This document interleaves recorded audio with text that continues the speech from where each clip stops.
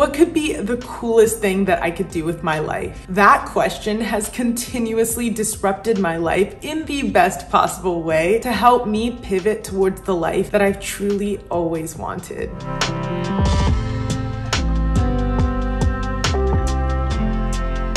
You can't unconsciously achieve your goals. You have to actively design your life with your goals in mind in order to get to where you want to go in life. According to the National Science Foundation, an average person has about 12,000 to 60,000 thoughts a day. Of those, 80% are negative and 95% are repetitive thoughts. So not only are a majority of my thoughts negative, but they aren't unique and I'm repeating this negative story in my head that I'm telling myself. If you want to change change your life as it currently stands, the key is flipping the script on this negative bias in your mind. It does take active work and many different methodologies to flip the narrative we tell ourselves, from meditation to letting go of dwelling on the past and worrying about the future, prayer, reflection, affirmations, journaling, reading, and so much more. These are elements that I've incorporated into seeing my life change drastically over the last few years. From being a software engineer for seven years years and being at the top of my industry as a vice president of engineering, to being a personal trainer and ultimately becoming a content creator and matching my $150,000 salary that I was making as a software engineer. Life went from being full of depression and anxiety and stress and overthinking and convinced of the story I was telling myself that my life had little worth to truly disrupting my path and crafting a life that I can honestly say that I love and it's only getting better from here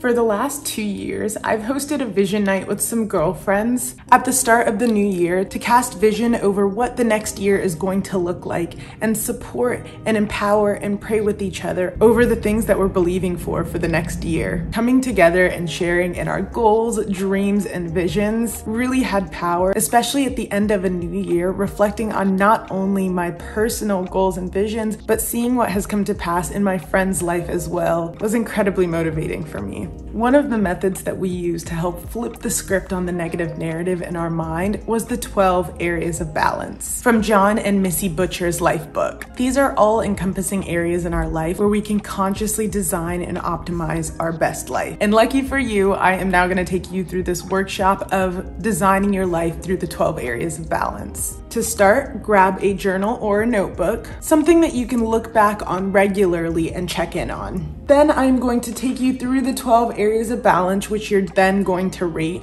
from 1 to 10. I'm going to give you the category, give you a short description, and then your first impression rating is what you should go with. You shouldn't contemplate on it too much. Number one, your love relationship. How happy are you? Whether you're single and loving it, or in a relationship or desiring one, how would you rate your love life from 1 to 10?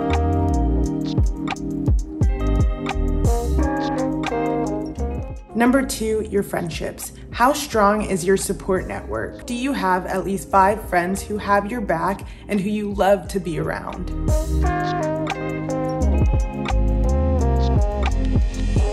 Number three, your adventures. How much time do you get to travel to new places that open you up to new experiences that excite you?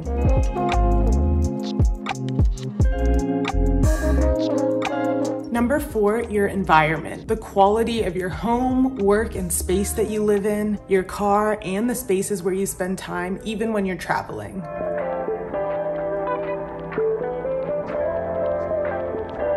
Number five, your health and fitness.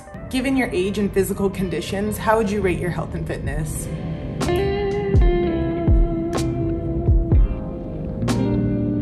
Number six, your intellectual life. Are you a lifelong learner? How many books do you read a year? How many seminars or courses do you take yearly?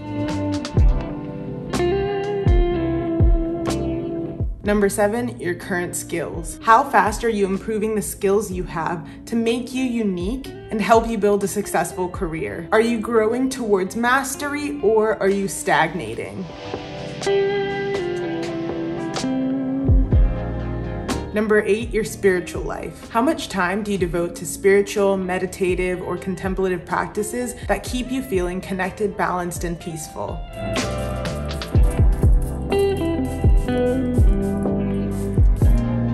Number nine, your career. Are you growing, climbing the ladder, and excelling? Or do you feel like you're stuck in a rut? If you have a business, is it thriving or stagnating?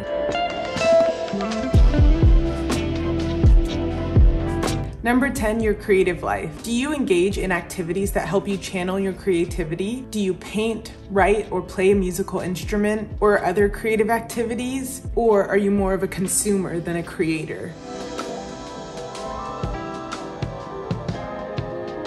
Number 11, your family life. Do you love coming home after a long, hard day? If you live alone, how's your relationship with your parents, siblings, or chosen family?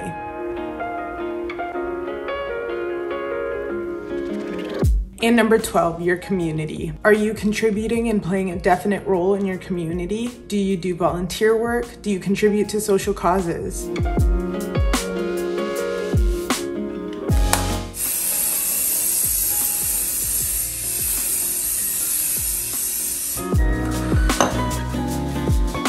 Now that you have your full list, I want you to take stock of all the ratings and note your top three highest rated and your bottom three lowest rated. For your top three, you've done such an amazing job in these areas and it's something to celebrate. It's so important to look at not only where your life has opportunity for growth, but also where you have opportunity to celebrate. And whether it's a pat on the back, a whole party to celebrate, or something in between, celebrating yourself is an important aspect of changing those negative thought patterns. And for those bottom three, you're gonna use those as the focus for your next quarter. For the next three months, those can give you guidance on how you can start elevating your life and designing a better life for yourself by bringing up the areas that have opportunities for growth. As you continue to do this over time, you'll see that these numbers grow, but also some numbers fall. And it's part of life being seasonal where some areas will have really peak seasons and then will fall and come back up again. But as you flip the narrative and have a more positive outlook on life, you can find contentment peace in any season. For those bottom three, you want to ask the question, what would my ideal scene look like in this area? For your love relationship, if the goal is that in a year I want to be in a happy, safe, loving relationship. A habit attached to that might be I am going to go to three events a month that have to do with my passions to meet more like minded people. Or for your intellectual life, if the goal is I want to be more intellectually stimulated, a habit might be I'm going to read one book a month. By doing this, you can start to take incremental changes towards designing your ideal life coming back to that question of what would be the coolest thing that I can do with my life. Give yourself time to dream big. What would your ideal life look like? You can use these 12 areas of balance as a guidepost for how those different areas in your life would look like in one year and in three years in the most ideal state.